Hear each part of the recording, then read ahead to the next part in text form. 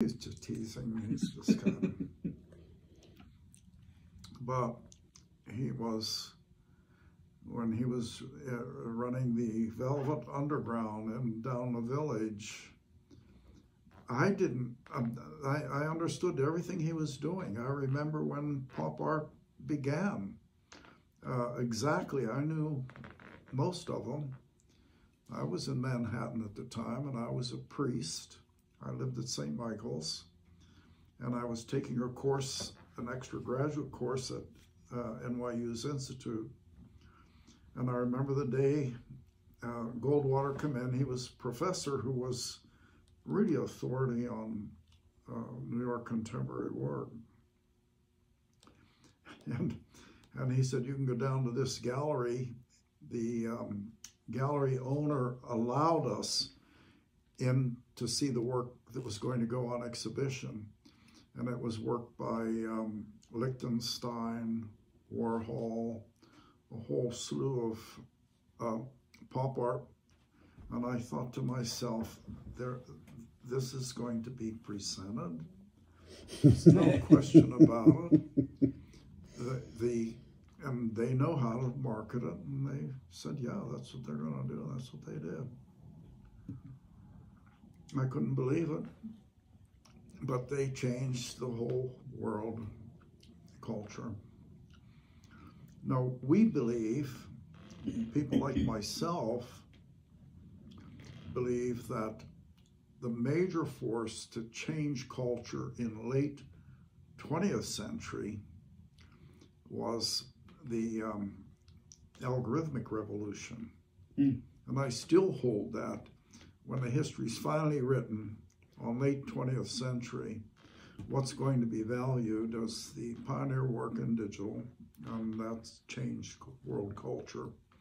And it's every bit of a change. The, um, the algorithmic revolution affected not just cultural change, but industrial change. The whole world, everything changed. Mm. In a, a more than the industrial revolution, with the motor and the engine, and I've lectured on this a lot, with the motor and the engine, when it came into existence, um, uh, what it was was this. I can explain that to you. We, we always had we, we always had something. We had water wheels that, mm -hmm. that could do some work. Um, that preceded the engine. Um, and the trick with water wheels in some ways is almost the same, but not quite. What was new to make the engine happen was something that's called the compound crank. And it's like you have a wheel. Let's say this were a wheel. And you had an axle in it, off center. Mm -hmm. Then you, ha you have that axle off center. Then you have an arm touching that axle. And it goes, it goes, and it turns that wheel that runs the train. That gives you an idea of what they call compound crank. Now, the invention of the engine with compound crank together initiated the Industrial Revolution. It wasn't just initially for the train, it did other work, but it was pretty obvious that once we had that engine, there's going to be all kinds of engines. That's why you have the pistons on the, the, the on, on your automobiles. It's all it's, it's, a, it's, a, it's that, this is what's interesting.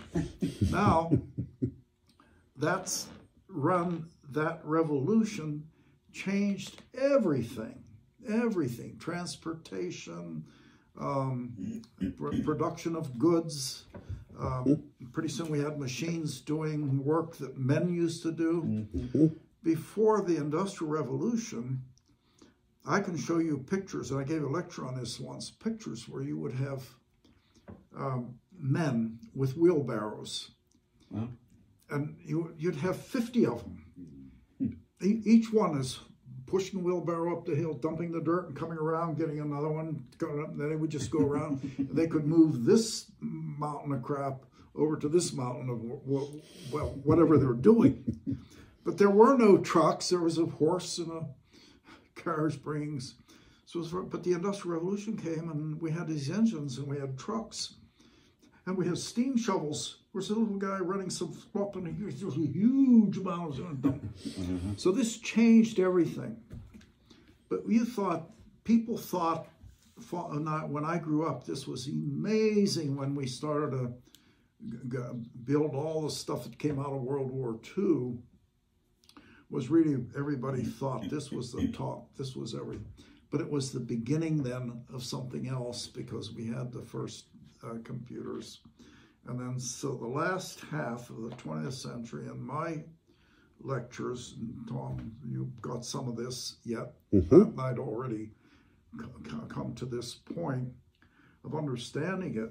Now we have people in the 21st century who forget that, hey, the groundwork was done in the 20th century. My, my code was intelligent code and was artificial intelligence. And we were the first to do it. Of course, today you can do it fantastically better, but I still have my old machines. Um, you can't beat what we did. Yes, I have a article from the Minneapolis Star Trib yeah. that had you uh, uh, mentioning you as the grandfather of algorithmic art. yeah, they said, well, that was a little bit embarrassing for me because I'm not the grandfather, but I'm, I'm, I'm one of the pioneers. But um, strangely enough, the person who was here that year uh, was Frieder Nake, who came from um, Metten, um, not Metten, but um, Bremen in Germany. And he was the first person to ever write code for a computer. So he would, when he, I was, it was a little bit embarrassing because he was one of the keynote speakers for the conference. And I, I was a speaker, but I wasn't keynote. And uh, and when I saw the front page, I thought, yeah, well, maybe Frieder should have gotten that front page, but I got it, so I got it. But in a way, I did more than Frieder uh, because I followed the algorithms, I published a lot and pushed. And Frieder has tremendous respect for what I've done, but he was in it earlier, much earlier than me. And he, but he wasn't an artist. That's a big difference. And what he did was he wrote some software for the first, for, to make a drawing. And he did some kind of a drawing. It sort of mimed something that Paul Klee had done. And it's classic, and it, it is important work. And, but he didn't really know, didn't come to it as an artist. And um, so it was my generation. Um, we were, I'm actually older the difference is that I had 30, 40 years experience as an artist before I touched the, before we had computers mm. that for doing that. Mm-hmm. So this is what he was younger without any experience in art. And, um, but he does have tremendous respect for me and my work. And um, he had me come to the university there as a guest, actually for three months. Wow. And he, um, he's a good person. Still, he's